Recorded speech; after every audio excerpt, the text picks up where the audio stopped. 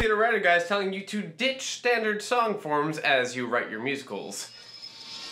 And here's why. Standard song forms are great. They give us tried and true ways to write plot and develop characters and to write succinctly. But they aren't always the most interesting forms, are they? Especially when all the songs in a show seem to follow the same formula time and time again. But luckily, there are plenty of other non-standard ways to write and structure a song for musical theater that we've seen work over and over again. In fact, a very large portion of the musical theater canon is made up of non-standard song forms. So today, let's talk about those non-standard song forms, or at least a few of them. By non-standard, I mean they are not 32-bar choruses, they are not verse-chorus pop form, and they are not a standard musical scene. But I will say that as we take a look today, you will probably recognize that there are elements of the standard song forms that are borrowed heavily to create these non-standard forms. I actually would not be surprised if a lot of these songs songs started out in some way at the standard form, and then through experimentation, they became something slightly different. Or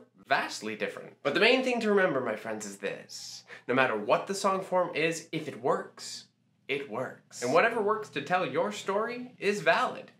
Period. Alright, let's look at some non-standard form examples. Starting closer to form, let's begin with a little Lerner and Loewe. Now Lerner and Loewe had this thing that they did a lot, which was they took a 32 bar chorus-ish, and then they just changed part of it. A little, little zhuzhe. One of my favorite examples of this from the Lerner and Loewe song book, if you will, is from Camelot. The song Simple Joys of Maidenhood, which has this long verse section that's kind of doing all of these different things that feel like we're gonna go into a song, but then never actually amount to a song. There's some underscored scene work, and then we do finally arrive at our song moment at the end of this section. But, it's non-standard. It feels like it's going to be an AABA 32 bar chorus. And honestly, the A sections really are a great example of A sections for a 32 bar chorus. If you're not familiar, it's that Where are the simple joys of maidenhood? Where are all those adoring, daring boys? Where's the knight pining so for leaps to death in woe for me. Oh, where are a maiden simple joys? Eight bars. It's a great A section. Then we do another one. Then we get to where the B should be, but we don't do an 8 bar B. In fact, we do this. Shall I not be on a pedestal, worshipped and competed for? Not be carried off, or better still, start a little war? Four bars! With very fast words. I do wonder why, but it works. So, should we question it? Probably not. It's fine. Next, let's take a look at a more modern example from Beauty and the Beast. In fact, we're going to look at the song Beauty and the Beast. Now this one is a weird one because it feels like we're doing something musical theater, but also the pop version of the tune also feels like a pop song. What are we doing? What is this structure? So, at the risk of a copyright strike, here we go. Tale as old as time true as it can be. Barely even friends, and somebody bends unexpectedly. And that feels like an A section, right? Like we're about to go do another A section, and we do kind of start one. Just a little change small to say that then we have a change here and we're not doing the same thing again. So is this like an A prime now? Is that what we're doing? Both a little scared, neither one prepared. Beauty and the Beast. And then we finally get our hook too. Is it an A and an A prime? And then we go and we do an interlude and then we just go back and do another A and A prime? Is that the structure of the song? Or are we looking more micro? is the first half of the thing that I called the A section actually the A. And then we're developing into like a B, and then we're coming back to that A, and then we're ending with a C that has the hook? I don't know. And does it matter? Or does it just work? Oh, let's talk a little bit about Andrew Lloyd Webber. Webber has a structure that he uses a lot, which I guess I would call something along the lines of AABC for this structure of each section. And it works for the most part whenever we see it. This happens a whole lot in The Phantom of the Opera, so I chose a song from Phantom. Think of me, think of me, think of me fondly when we've said goodbye. Remember me, second A, question mark, every so often promise me you'll try. B section? On that day, that not so distant day, when you were far away and free. And then it's not quite a return, so is it a C? If you ever find a moment, spare a thought for me.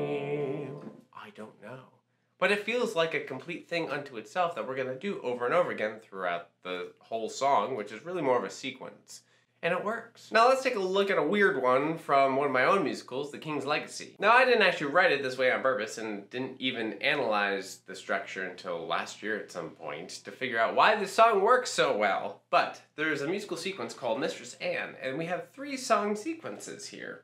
Each of them is 32 bars, but it is not a standard 32 bar form. In fact, the best I could describe it is probably something like a, an intro, an A, another A, a B, and an outro? Question mark? Where the intro and the outro have the hook? Hard to say.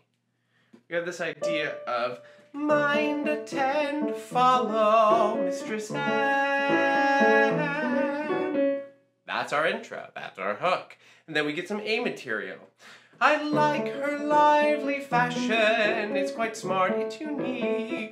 It's a game, but if she wants his notice, that's the key we shall see, wee wee.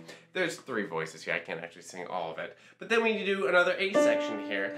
The king, he values beauty, love and art. His lay her tricks remind me greatly, dear of you actually don't know all the sections of this because they each changed slightly. Then we get our B question mark. Wait, will he wait? Still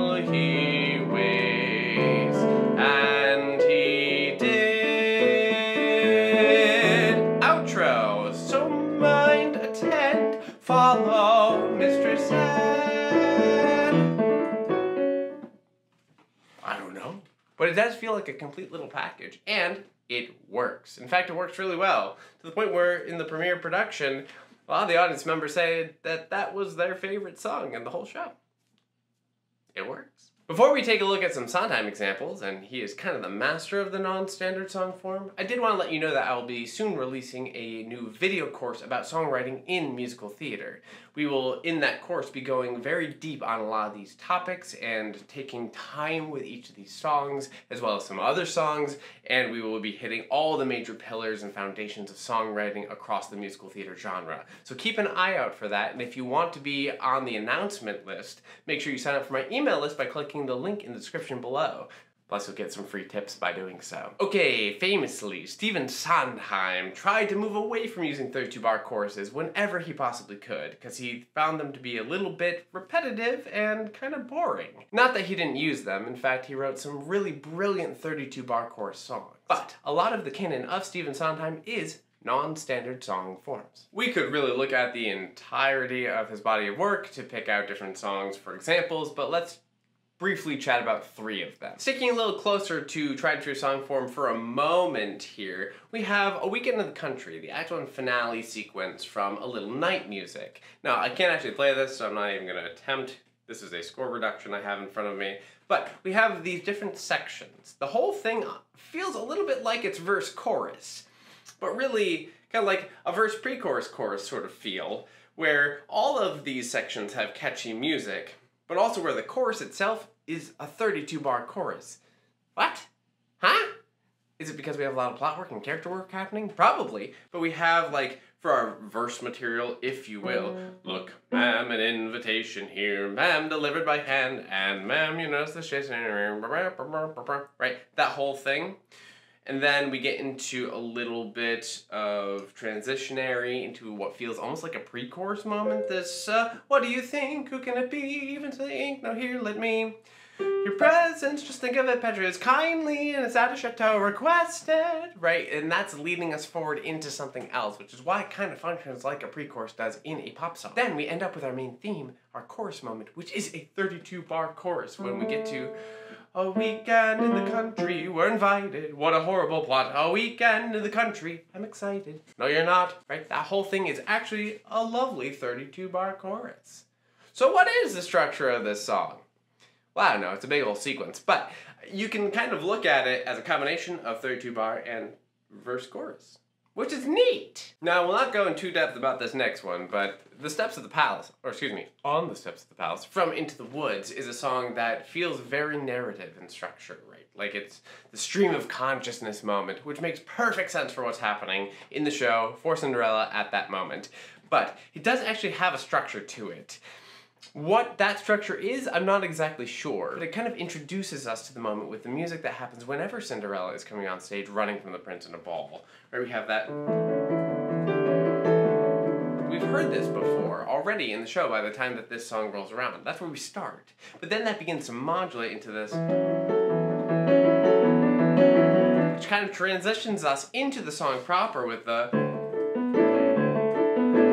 Right? And that's where we get a sense of the structure of the song within the song moment. And how you break that down? Well, you can look at the score and take a look for yourself. It's something akin to an A, an A prime, a B, and an A double prime that then goes back to this transition to take us to this.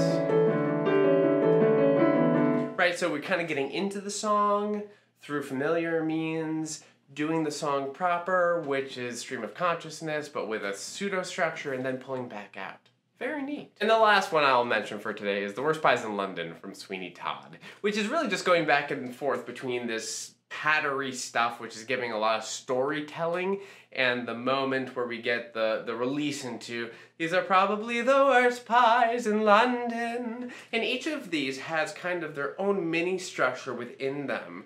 But we get patter, we get our worst pie section, we get more patter, we go back to our worst pie section, and then we end with something that's slightly different and not the hook at all with times is hard, times is hard. But it works! Why? Because Sondheim's a genius. And that's just a little taste of what Sondheim does with his non-standard song forms. is worth the study, for sure. Take his scores, sit down with them.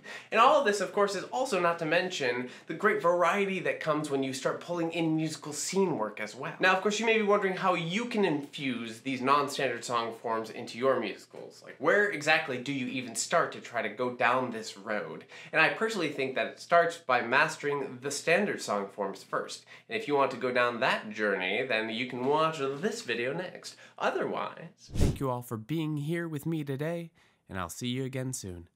Cheers!